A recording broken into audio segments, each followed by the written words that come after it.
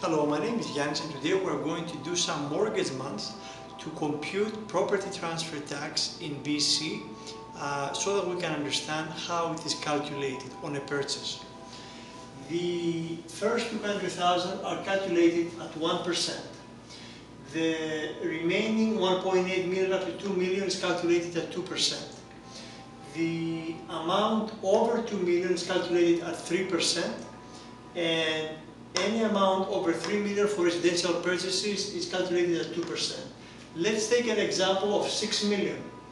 For the first 200,000, the amount is 200,000 at 1%. For the remaining 1.8 million up to 2 million is 36,000 at 2%. The overage over 2 million is 4 million dollars times 3%, 120,000.